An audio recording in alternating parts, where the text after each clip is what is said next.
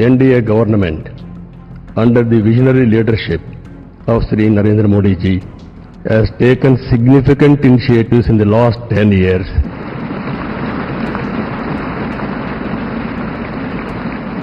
The country has witnessed remarkable progress and transformation.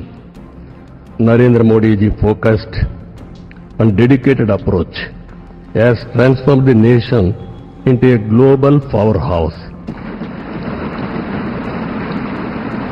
I am in the politics for the last four decades. I have seen so many leaders. I can give entire credit for Narendra Modi ji for making India proud globally.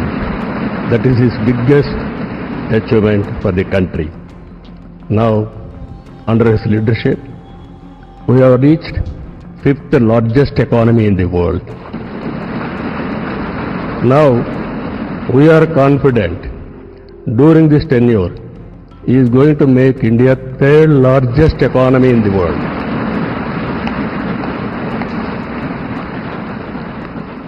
And at the same time, he is planning Vikasit Bharat Vision 2 2047.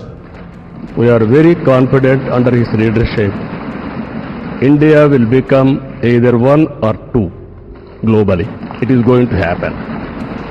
And at the same time, Indians under his leadership globally will become number one globally. As on today, Indians are all everywhere if you go anywhere in the world, highest per capita income Indians are earning. I am confident under his leadership, Indians are going to become global leaders in the near future. It is going to happen. You name public governance, corporate governance, in the name of service, we are going to serve the global community. That is going to happen. Under this, sir, only all of us have to keep balancing regional aspirations and national interest must run parallelly, ensuring holistic development across all strata of society. Friends, I have seen so many governments. We are a very, very inspiring time.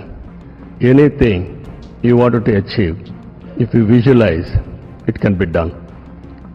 Narendra Modi ji is having a vision and also is having a zeal and also his um, execution is very perfect and also is executing all his policies with a true spirit. Always to have a leader. Right time is a great asset for the nation.